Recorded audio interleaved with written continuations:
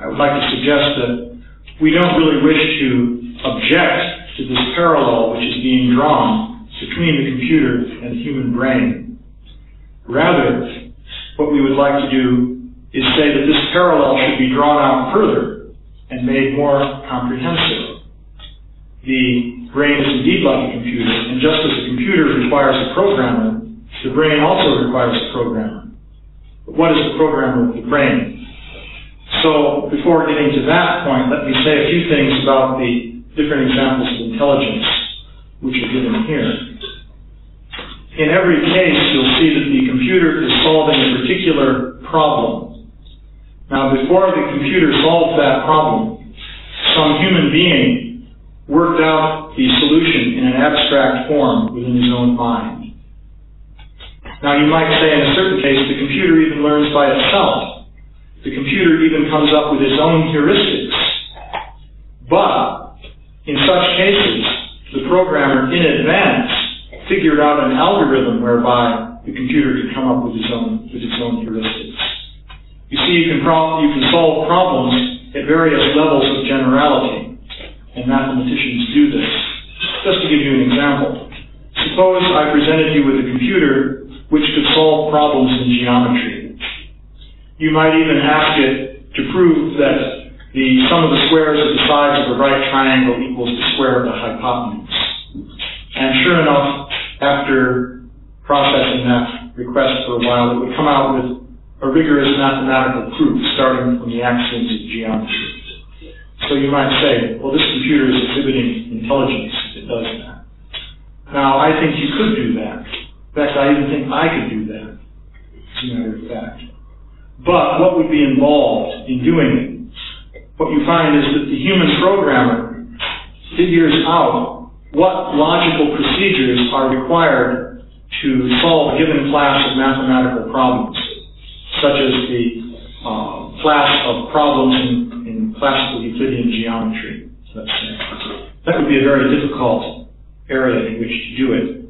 But theorem proving programs have been written for more restricted uh, classes of mathematical problems. So the point is, in advance, the human programmer, in his own mind, understood how any such problem could be systematically broken down and solved by a step-by-step procedure involving these logical functions here, these Boolean operations. So, uh, the computer can do that after that program has been entered into it. The real work there, I would submit, has been done by the human mathematician who worked out this systematic scheme. And the computer merely puts it into execution. Now, if you would like to define that as intelligence, that's okay. In that case, the computer has intelligence, and there's no objection to saying that. But what about the function of creating that algorithm, of arriving at the algorithm? Can a computer do that? Well, uh, as a matter of fact, uh, you could even conceive of a computer that can invent algorithms. But how will the computer invent algorithms? It will only do so if some human being invents a meta algorithm which can be used by these systematic logical steps to generate algorithms, which you can even conceivably do. Uh, practically, there's no limit that we know of to what you can do in mathematics, apart from certain limitations provided, say, by Gödel's theorem, things like that. Uh, so, uh, it is conceivable that a human being who had very great insight into mathematics could devise a general logical scheme that could solve a whole class of mathematical problems that people in general find it very difficult to solve. And if he could do that, then it follows inevitably from that that a computer could be programmed to execute that algorithm. And in that case, the computer could solve all those problems.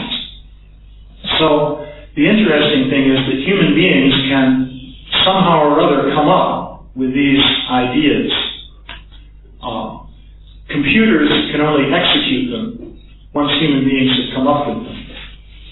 So the question is, uh, how does one come up with these ideas?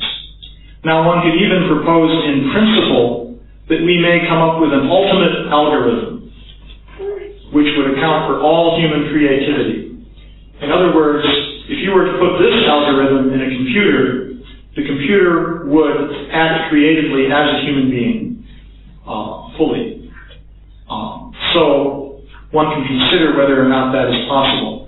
At the present time, such ideas are exceedingly utopian. Um, we have no real basis in terms of experience we have with computers thus far for saying we can actually do something like that.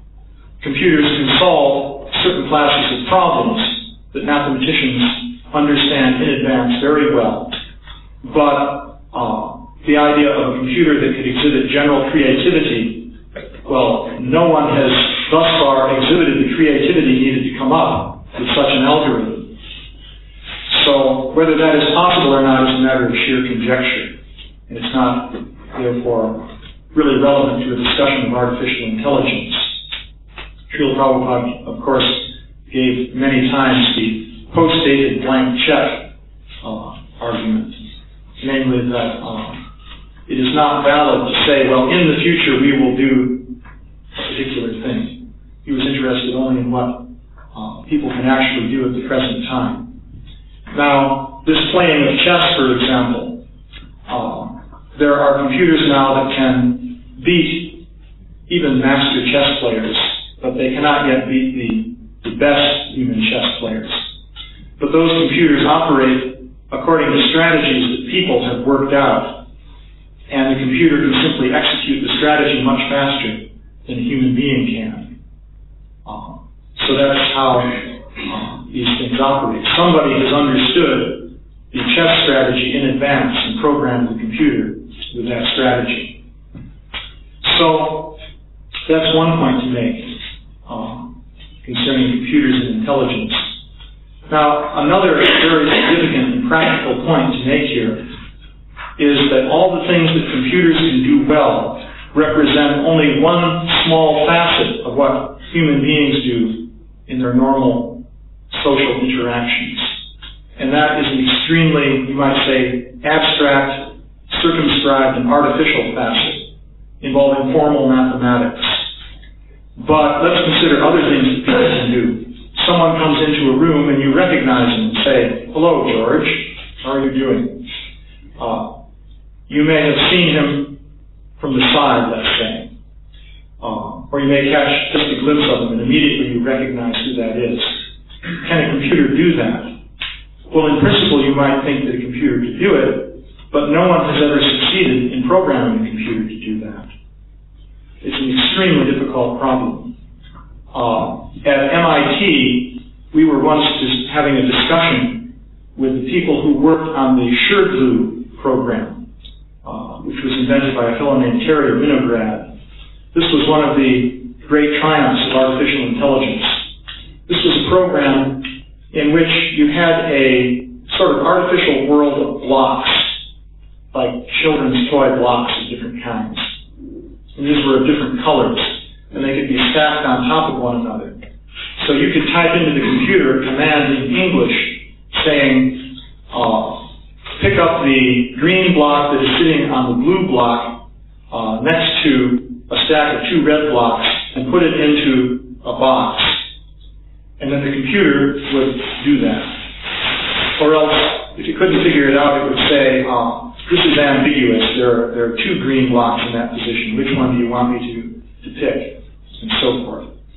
So in this blocks world, the computer could answer questions and behave in response to those questions as though it understood what was being asked.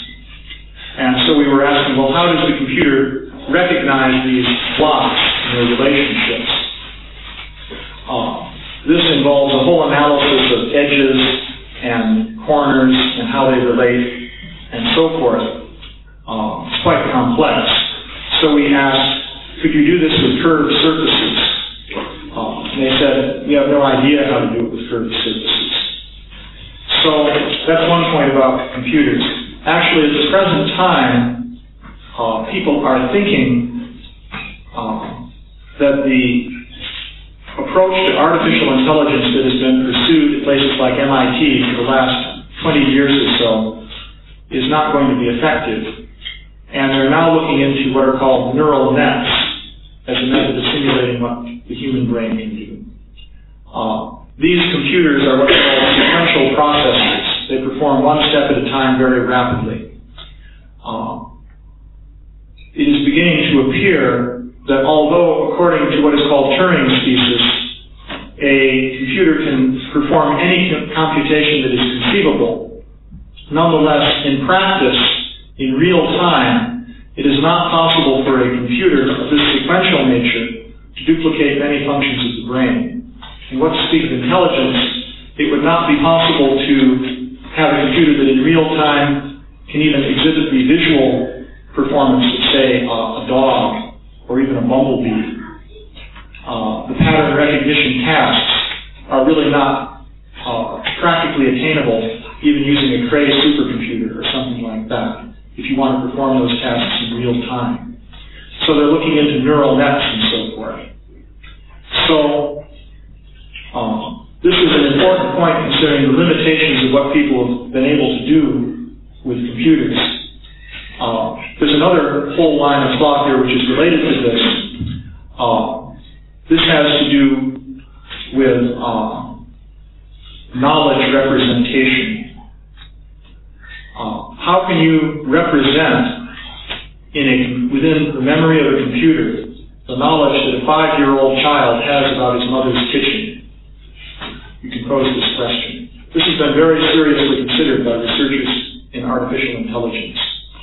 You see, in all the functions that are described here, the data that the machine manipulates is of fairly limited and circumscribed nature. For example, the position of the men on a chessboard is very easy to represent. You have 64 squares and so and so many different men. So it's a simple matter to represent that within the computer. But you may ask, how do you represent this knowledge child has of his mother's kitchen? Just consider how much knowledge there is. There's the knowledge of what an apple looks like so that you can tell that it's an apple from many different angles. If you see a slice of an apple, you can tell that that's a slice of an apple as opposed to a spoon. So they know what spoons are, knives, forks, what the stove is, what the soot on the pans is, so many different things. If you even pause and try to enumerate all that information and somehow order it in a logical way, you'll see it's a very formidable task just to define all that information. So in order for computers to handle that, First of all, as things stand today, people have to be able to define that information and represent it somehow within the machine. Of course, there's the idea of programming the machine so it will learn all that information by itself, just as a child does. But no one has been able to come up with a program. So, in supposedly complex things that seem to take a lot of intelligence, like, say, playing chess, the computer may be very good but in going into a, a kitchen and noticing that a cookie is something different from a spoon or a kettle on the stove, etc., this is beyond the capacity of um, computers as far as present day progress is concerned. So these are a few points concerning computers, not at all touching on the whole topic of consciousness. So, as far as the idea of programmer being less than a human being because uh, it is programmed by some other intelligence. I would reply that a human being also is just uh, an animal, uh, an intelligent animal, unless he's programmed by years and years of learning. The human being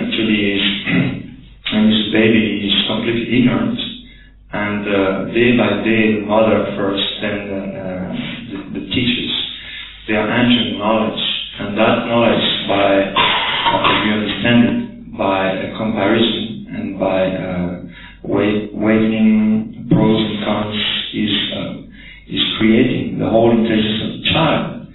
So now we are expecting that uh, computing science, which is quite new science, can accomplish the same uh, with just a few programs, the same which is accomplished by years and years of programming of the human brain. Well, of course, your statements rely, rely heavily on the posted blank check uh, approach. In other words, you're talking about um, we can't do it now because we don't understand how the brain works and we haven't been able to figure out how to program computers to do these things and the computers don't have sufficient capacity. That's why we haven't been able to do it yet. But in the future, we'll be able to do these things. Um, this it's a basic point of logic, but this is not valid reasoning uh, in any situation. So one has to stick to the actual uh, facts. Um, and the fact is that at present, computers have not been able to do all these utopian things that you're talking about. Now, concerning uh, programming, you started out with a fallacy by saying that human beings are being programmed throughout their childhood development through the educational process and so forth. Um, of course, this um, is the tabula rasa idea of the human being, but one has to distinguish between this and the programming of the computer. Because in the programming of the computer, the programmer is truly dealing with the tabula rasa. He has a certain set of uh, instructions that he can work with that are supplied by the, the computer language that he's using. In terms of those instructions, he has to figure out within his own mind a logical set of steps which will cause the computer to do the desired task, whatever it may be. Then he writes this down, enters that into the computer, and executes it. And if he has worked out his ideas correctly, then the computer will perform in the desired way. We don't do that when we educate children. We don't do anything like that. We talk to them, we explain ideas to them, somehow they understand, or in some cases they don't understand. But whatever is going on in their minds is a complete mystery to us, actually. No one understands what's going on in the mind of a child or any other human being when you teach him something. And no one can really explain why one child understands it very quickly and another does not. And in any case, certainly no one is understanding how the neurons are hooked together and seeing that, well, if we systematically reconnect them in this way, then the brain will pr- produce the following functions and so forth. So it is quite incorrect to suggest that uh, the word programming as applied to computers similarly applies to human beings. That would be uh, a misuse of uh, language. So, in actual fact, we see that human beings are very far from being a tabula rasa. And many things that human beings come up with cannot be accounted for in terms of their education. Uh, this includes computers themselves. Uh, I think it's fair to say that there's nothing in the education of John von Neumann which would account for the fact that he created the idea of the general purpose digital computer, uh, or in the life of Alan Turing, who did the same thing in England about the same time. Uh, obviously, there were many other people who had a similar education to these men, and they didn't invent computers, or perhaps didn't invent anything in their entire lives. So, how do you account for this inventive uh, process? That is something that uh, one should at least consider with an open mind. Now, as for what computer algorithms are able to do, in fact, we don't yet see computers that exhibit this kind of inventiveness. And even if, as you say, a computer discovers a law, you can be sure that the programmer understood that that algorithm was such as would lead to the revelation of that law.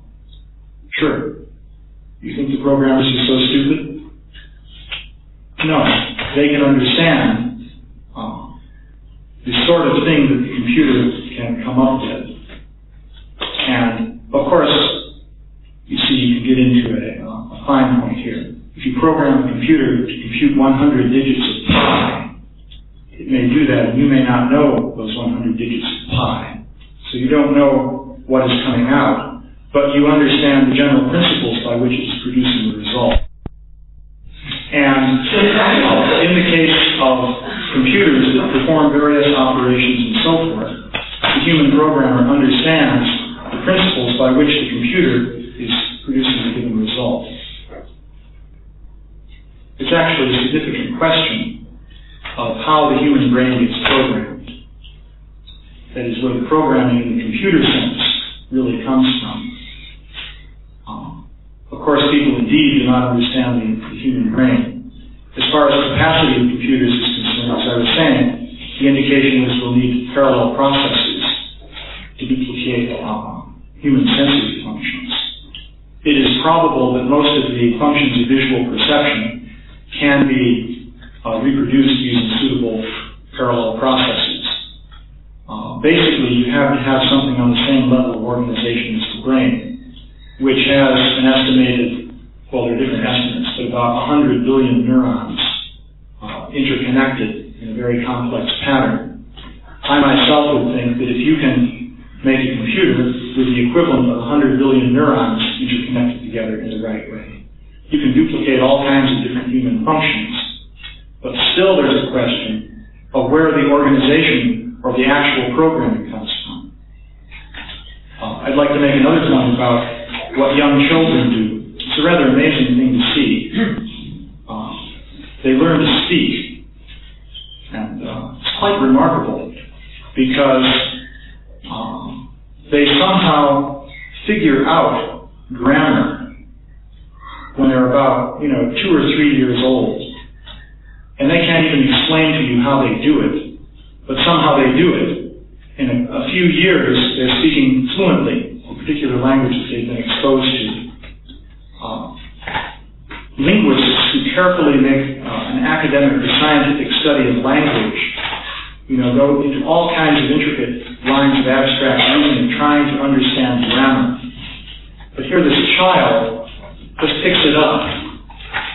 Uh, it would be very interesting to program a computer that could learn to speak. Um, I personally think that in principle you might even do that. But I'd like to see you do it without understanding the basic principles of how a child learns to speak. Uh, stabs in the dark generally don't work in the area of computer programming there's a um, standard saying called GIGO. Familiar with that one? So, garbage in, garbage out. Which describes what happens with computers. Um, generally speaking, you don't know what you're doing, you're not going to get a good result. In fact, universally that's the case. Even if you think you know what you're, you're doing, you probably have to spend a lot of time trying to debug the program to iron out flaws in your own reasoning, which you didn't think were there. Actually, the computer is very merciless in revealing the flaws in the reasoning of the programmer. And most of the time spent in computer programming, including producing all these artificial intelligence, intelligence programs that produce these various amazing results, most of that work is spent in ironing out flaws in the algorithm. The person writes his algorithm, has the computer execute it, and the thing fails to work properly. So then he thinks, how does that happen? And uh, eventually he figures out why it wasn't working properly. And then he fixes his algorithm. Then he runs it again, and something else goes wrong. You can spend hours and hours and hours of labor doing this. And this is what hackers, as they're called, really do. So the end product, it's not just some marvel of intelligence that manifests in the machine I think you could argue that it's the intelligence of the human programmer that has finally been crystallized in a sufficiently precise form, so now that it can it can be uh, automatically executed by the computer. But we don't yet have computers that can do this programming work for us. And it's a bit utopian to say that, well, uh, once we come to the development of nanotechnology and we can uh, produce switching systems on the level of protein molecules and so forth, uh, then computers will acquire these capacities. That again is the um, post-dated blank check idea. So this is still on the negative side. I think it's not completely honest, the comparison between the child and the computer. Uh, first of all, we know that evolution has started with one-cell organisms. So you speak where is the original program coming from, but it has been developing over a period of so many millions of years. Then we say that the power of our computers will be like 10, 20 years be enough to store the necessary information and the speed will be high enough to access that information quick enough. Then you say it's post-dated, we only speak in terms of 20 years. But a child has been developing from the cell, so all this billion of years has been there to make that program which is in the child in the beginning, the, the basic program, which is which you could call an auto-learning program. Could you say something about that? It's actually a very logical development. We now come to the theory of evolution. And really, it is. It's very logical. And that, by the way, is why the theory of evolution is a very important topic for us to, to discuss.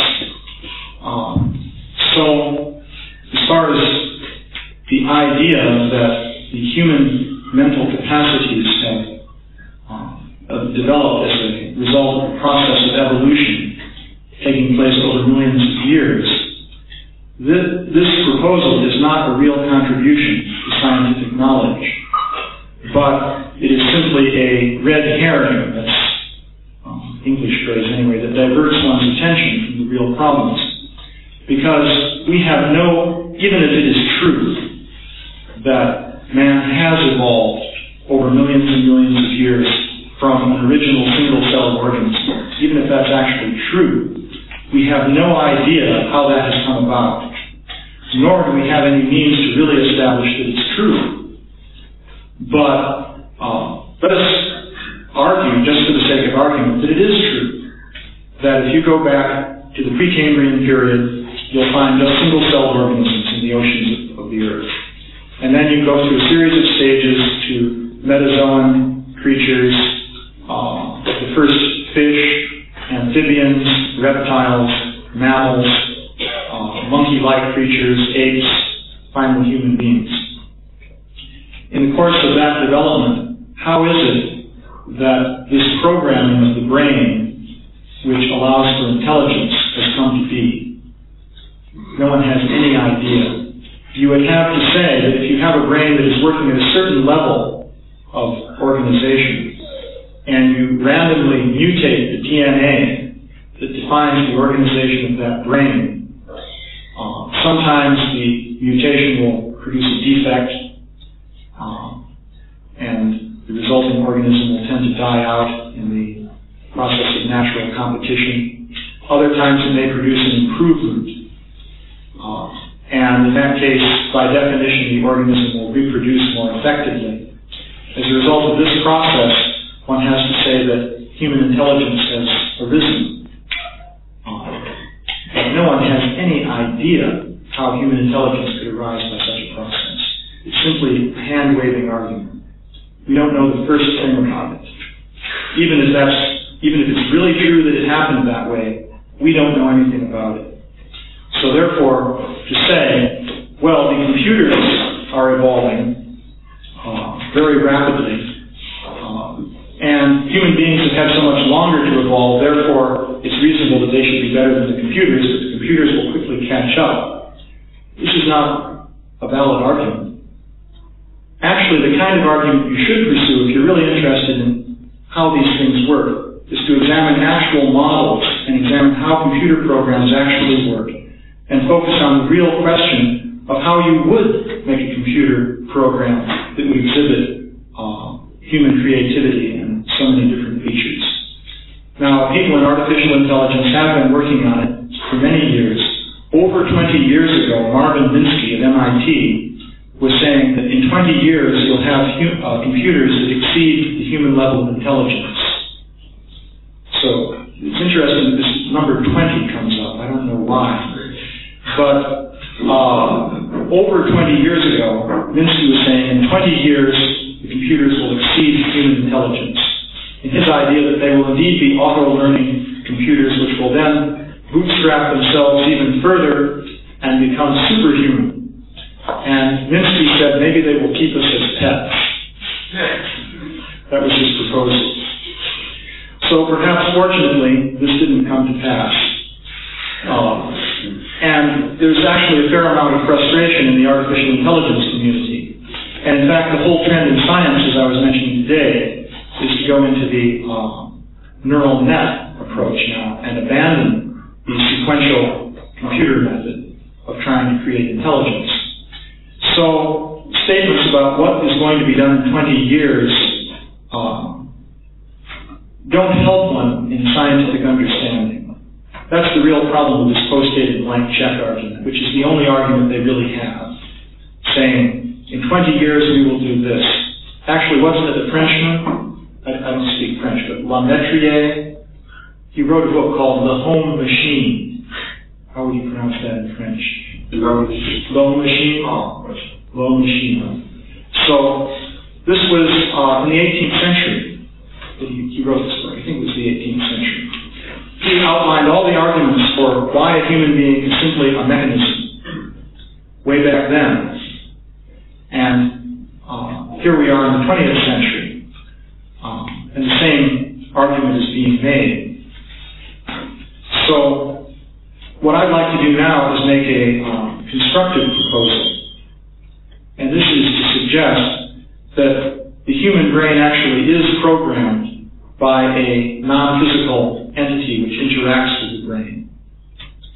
Um, this is a suggestion for further scientific research. Is that what we call the ghost in the machine? This is the ghost in the machine. Uh, we're proposing to use the sarcastic phrase of Gilbert Ryle, the uh, Cambridge professor. Yes, I'm proposing that there is a ghost in the machine. Uh, I'm resurrecting Cartesian dualism. We can bring up Rene Descartes. Uh, so I would suggest this would actually be a fruitful line of investigation. Um, you see, one question you can ask is in the execution of algorithms, how far do you go from the point of information input to the uh, computer? You see, you can program a computer to do a particular thing, but we find in practice that after a while, we're not satisfied with what it's doing. We want it to do more things. So then we put in more programming, and then it does more things.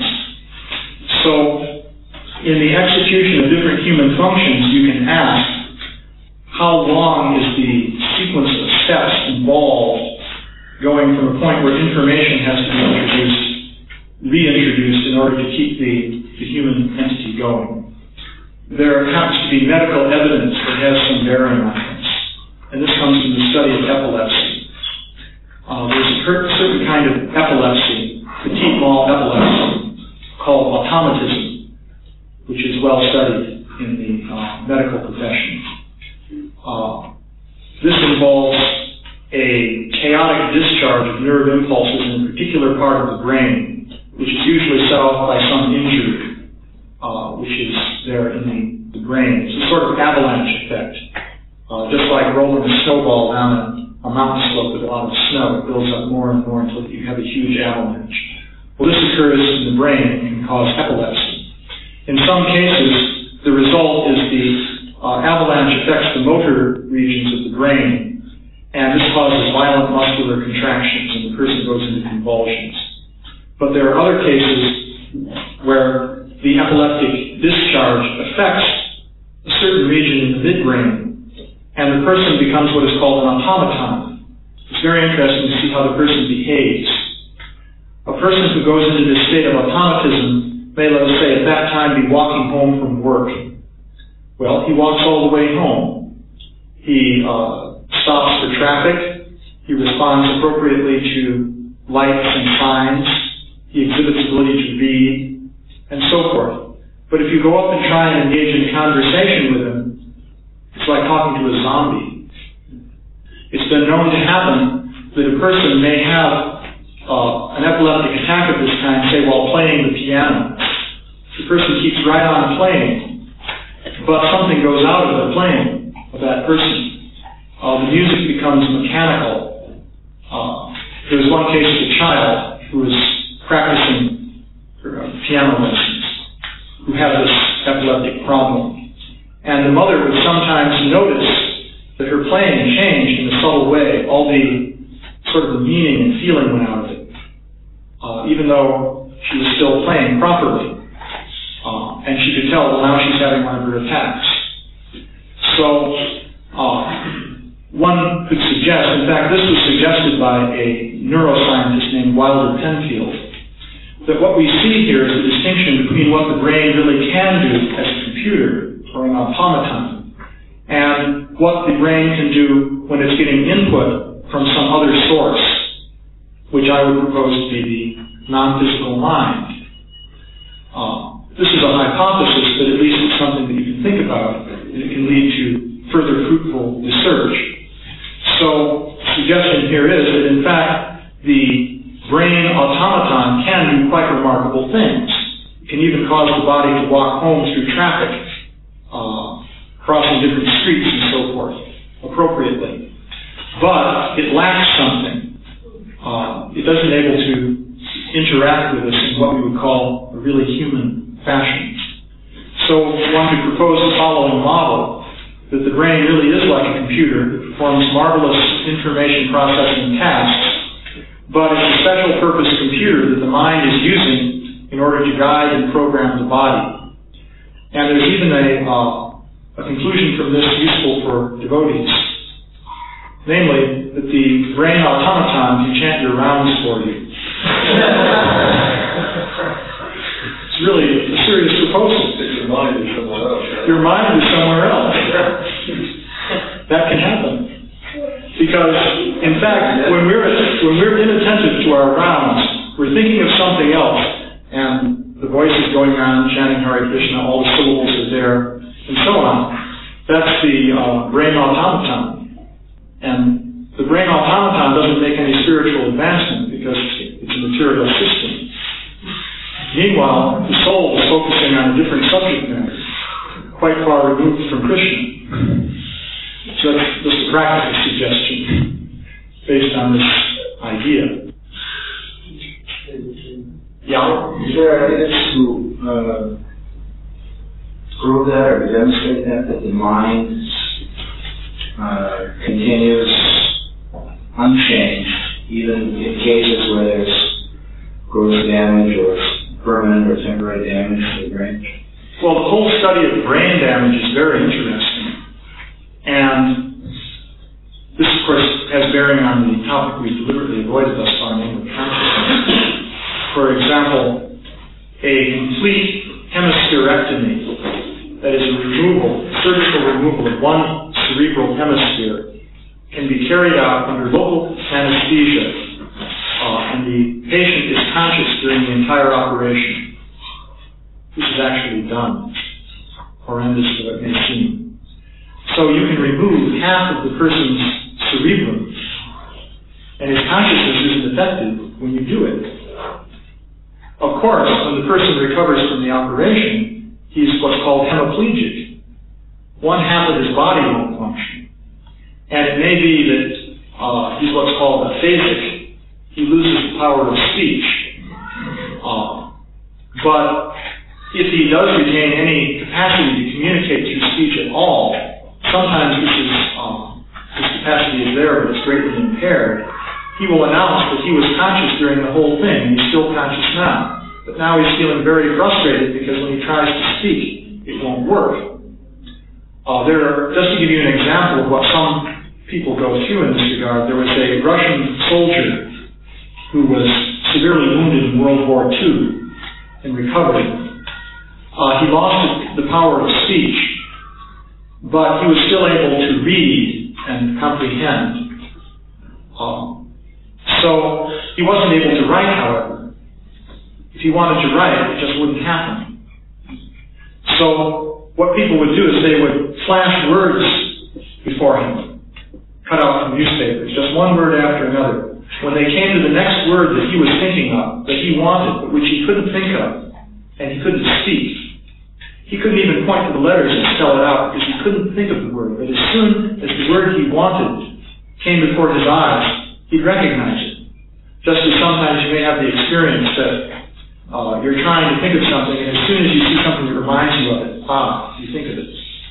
So in this way, by indicating, well, that's the, the word, and then he'd indicate the next word, and so on, he actually wrote essays and explained his situation in life and how frustrating it was.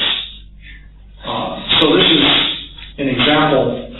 Uh, one could suggest here that the brain computer in this case was severely impaired uh, due to the damage, but somehow the link up with the mind uh, was intact, and the computer wasn't so severely impaired that it wasn't possible for the mind still to make use of it.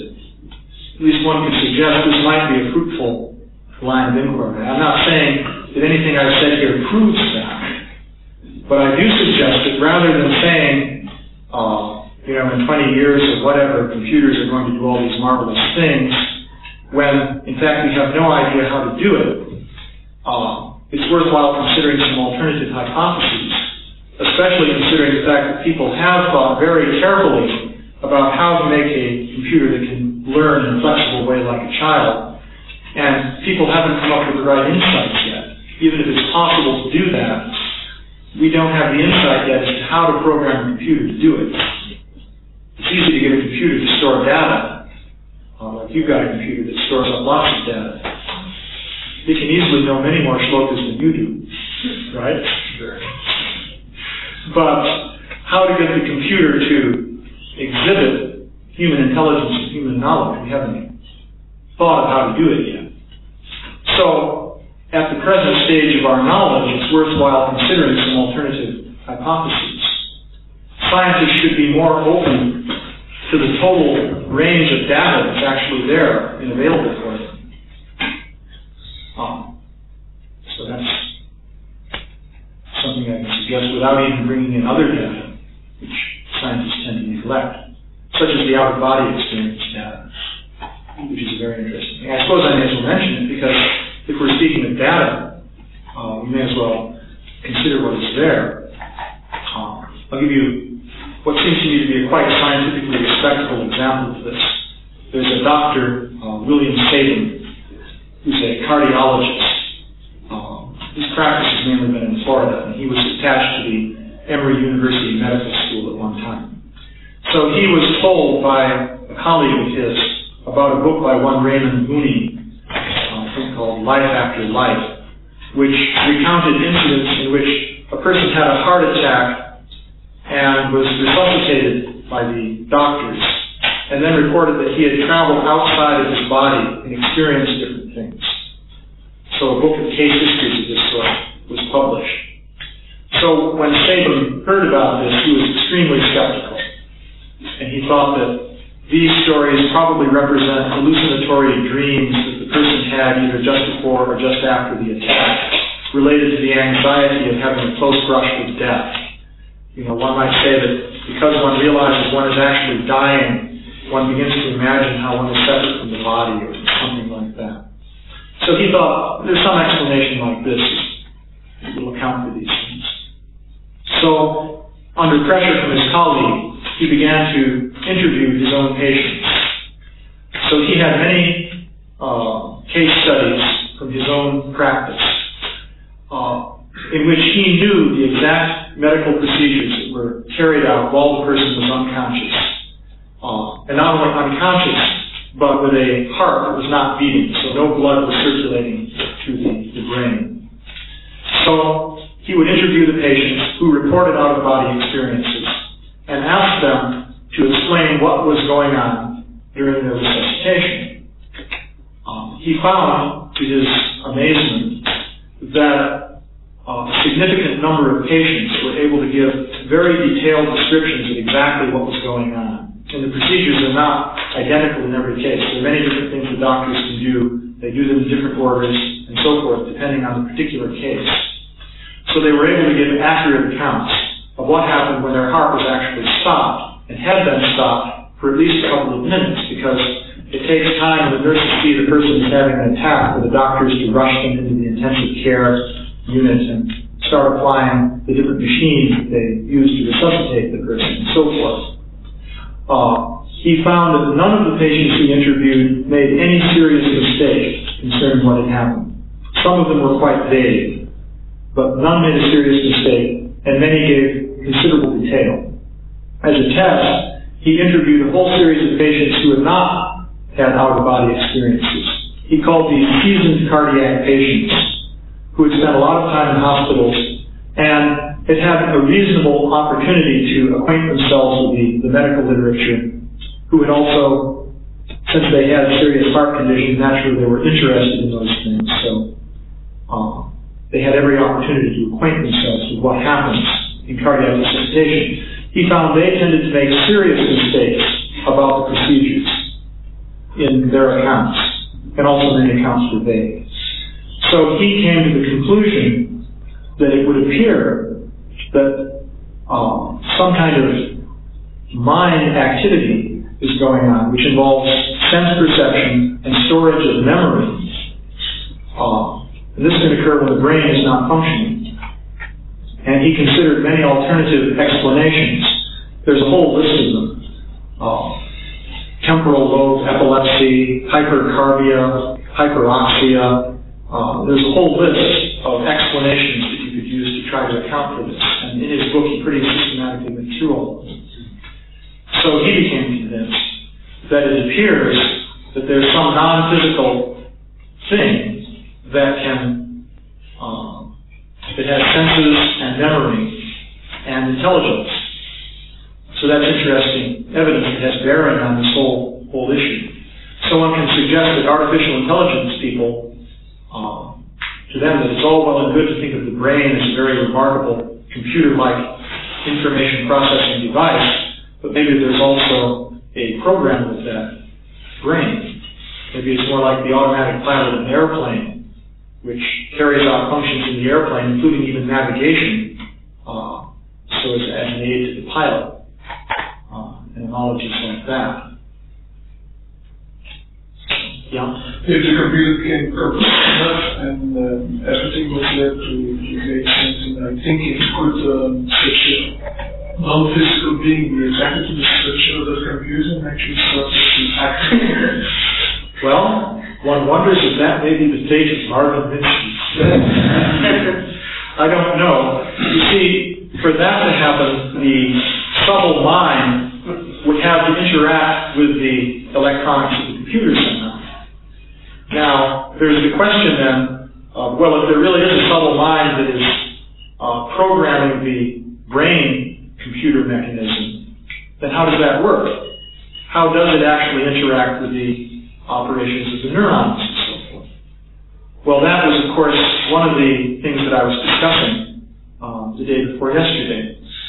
That these different uh, considerations regarding the laws of physics do suggest a way in which a non-physical mind, something, by non-physical here I would mean, by definition, more subtle than the ethereal element, just to nail down the term, precise definitions. Uh, how a non-physical mind could interact with the, the nervous system and uh, program the brain. So this also, by the way, is something that scientists could research. For example, this uh, professor I met from uh, Shanghai in China was thinking along these lines himself. He was thinking that these manifestations of deterministic chaos in his models of the glial cells suggested to him how the mind might interact with the, um, the brain. So that's something that conceivably could even be investigated. Although, admittedly, it'd be very hard to investigate it. But um, it's a line of fruitful scientific research. One can even think of experiments there that one could pursue. Yeah? Um, as far as the word that has been used, intelligence, is in Biblium, it's a question of definition. We have some definition about the activities of intelligence and the activities of the mind. The mind is supposed to be the source of feeling, thinking, and learning, and the intelligence is supposed to be switching between what is supposed to be good and bad. And then, if we go to spiritual intelligence, it's supposed to discriminate between what's spiritual and what's material. So when we speak about artificial intelligence, we've been speaking tonight about not probably wrote on the, the bar, calculation, sorting, deduction, um, would rather pertain to the thinking thing. The storage of data would be also in the mind, and the function of intelligence itself would be the discriminating, discriminating factor between what is good and bad for the system in a, in a certain conditions. So, um, this intelligence as such, uh, it aside of any consideration of thinking, of data, of memory, which isn't as such not needed. In other words, whatever set of mind, mentality, personality, the principle of intelligence and discrimination between two situations doesn't depend on the set of experience for the, from the entity, but on the uh, prevalent desires to analyze what is right and wrong. Well, you're defining intelligence as discrimination. So we can think about that for a moment. We have to keep in mind this post-dated blank check argument that always crops up. Uh, You can certainly program a computer to discriminate between different situations. For example, uh, you can make a computer program very easily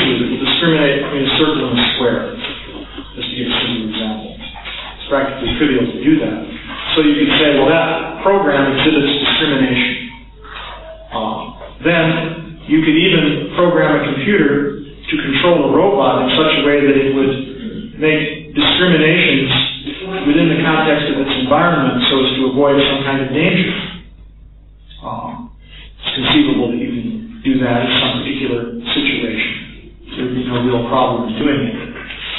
So, but now you're talking about uh, discrimination involving um, ideas of right and wrong and, and so on and so forth.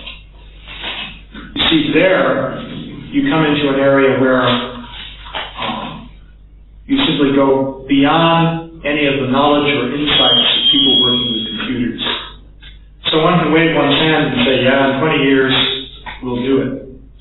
But no one has any idea at the present time, first of all, how to represent, let us say, the uh, state of mind of the individual, uh, which forms the basic framework within which the discrimination is being made.